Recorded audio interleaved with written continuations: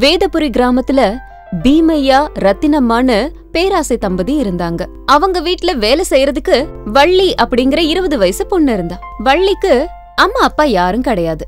அதுக்காக அந்த ரத்தினம்மா அவளை போட்டு கொடுமைப்படுத்திட்டு இருந்தா. நாள் முழுக்க வேலை வாங்கிட்டு முழுசா சாப்பாடு கூட போட மாட்டா. எவ்வளவு சுத்தமா வேலை செஞ்சாலும் குறை சொல்லிக்கிட்டே இருப்பா. ஏ வள்ளி உனக்கு என்ன கண்ணு தெரியலையா?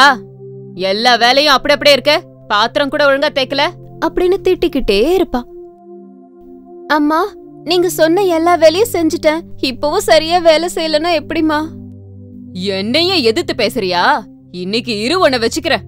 வள்ளி இவளோட கொடுமை தாங்க முடியாம வேற எங்கேயாச்சும் போய் வேலை செஞ்சு உயிர் வாழலான்னு யோசிச்சு எழுந்திருச்சு அர்த்தராத்திரி வேளையில வீட்டை விட்டு அழுதுகிட்டே போனா. அவ காட்டு பக்கம் போய்கிட்டு இருக்கும்போது புளிய மரத்துல உட்கார்ந்திருந்த ஒரு பேய் வள்ளி அழுதுட்டு வர்றத பாத்துச்சு யார் நீ? எங்க போய்கிட்டு இருக்க? ஏன் அழுதுட்டு இருக்க? ரத்தினம்மா வீட்ல என்ன ரொம்ப கொடுமைப்படுத்துறாங்க. எங்கேயாச்சும் போய் வேலை செய்யலான்னு போறேன்.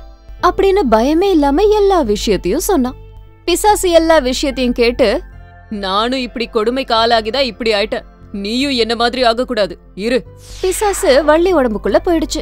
பேய் புடிச்ச வள்ளி திரும்பவும் வீட்டுக்குள்ள வந்து படுத்துக்கிட்டா. விடிஞ்சும் வள்ளி எழுந்திருக்கவே இல்ல. ரத்தினாமா அவகிட்ட வந்து அவ தூங்குறத பார்த்து ஒரு பக்கெட் நிறைய தண்ணி கொண்டு வந்து அவ முகத்துல வீசி விடிஞ்சு இவ்ளோ நேரம் ஆகுது தூங்கிட்டு இருக்க? அப்படின்னு சத்தம் போட்டா.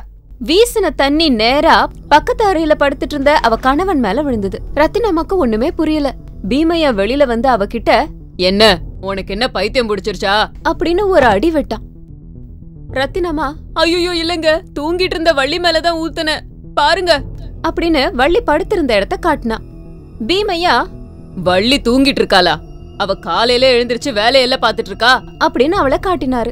ரத்தினம்மாக்கு அவ கண்ணு அவளாலே நம்ப முடியல. வெளியில வந்து வீட்டை சுத்தி குப்பை போட்டு அத சுத்தம் பண்ண சொல்லி விளக்குமாற வள்ளி மேல எரிஞ்சா. அது கூட நேர பீமையா மேலதான் விழுந்தது.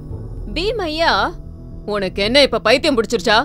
ஏன் வீட்டை சுத்தி குப்பை கொட்டி இருக்க என் மேல என் தொடப்பத்தை வீசுன? ரத்தினாமாக்கு எல்லாம் மாயமா இருந்துச்சு. வள்ளிய காஃபி கொண்டு வர சொல்லி சுட சுட காஃபிய அவ மேல ஊத்துனா. அந்த சூடான காஃபி பீமையா மேல விழுந்து எரிய ஆரம்பிச்சிடுச்சு. ஆ எரியுது. என் முகம் எரியுது. யார் என் மேல காஃபிய கொட்டினது? ரத்தினாமா கையில காஃபி கப்போட குழப்பமா நின்னுட்டு இருந்தா. பீமையா இன்னைக்கு நான் உன்னை விடுறதா இல்ல? உனக்கு என்ன பேய்கே புடிச்சிடுச்சா? என்ன வாட்டி எடுக்கிற? அன்னைக்கு நடு ராத்திரி ஆனதும் வள்ளி உடம்புல இருந்து பிசாசு வெளியில வந்து வீட்டை கொளுத்தி விட்டுட்டா. ரத்தினாமா என்னங்க வீடு எரியுது வீடு எரியுது. எழுந்திருச்சு ரெண்டு பேரும் வெளியில ஓடினாங்க. வெளியில வந்து பார்த்தா எரிஞ்சிட்டு இருக்க வீட்டுல வள்ளி தண்ணிய தூக்கி ஊத்திட்டு இருந்தா. மறுநாள் காலையில பீமையா ஒரு கம்பால மாட்டை அடிக்கும்போது அந்த அடி ரத்தினாம்பால் மேல விழுந்துச்சு. என்னங்க? நான் அவ்ளோ சொல்லியும் என்ன இந்த அடி அடிக்கிறீங்க? நான் எங்க அம்மா வீட்டுக்கு போறேன் போங்க. அப்ப பீமையா நான் எங்கடி ஒண்ணு அடிச்ச? நீ தானே பேய் பிடிச்ச மாதிரி நாலு நாளா என்ன போட்டு அடிச்ச? அத கேட்டு வள்ளிக்குள்ள இருந்த பேய் சத்தமா சிரிச்சு வெளியில வந்து பேய் பிடிச்சது உன் பொண்டாட்டிக்கு இல்லடா வள்ளிக்கு.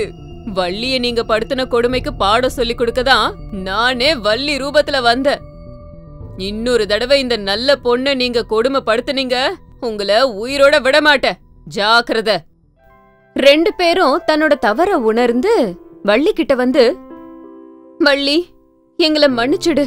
இனிமே உன்னை நாங்க எதுவும் சொல்ல மாட்டோம். எங்க பொண்ணு மாதிரி பாத்துக்கிறோம். தயவு செஞ்சு இந்த பேய மட்டும் போ சொல்லிட அப்படின்னு கொஞ்சம் ஆரம்பிச்சிட்டாங்க. நீங்க மாறிட்டீங்கன்னு நம்புறேன். ஆனா இன்னொரு வாட்டி வள்ளி மட்டும் அழுதா திரும்பவும் வருவேன். உங்க தோலை உரிச்சிடுவேன்.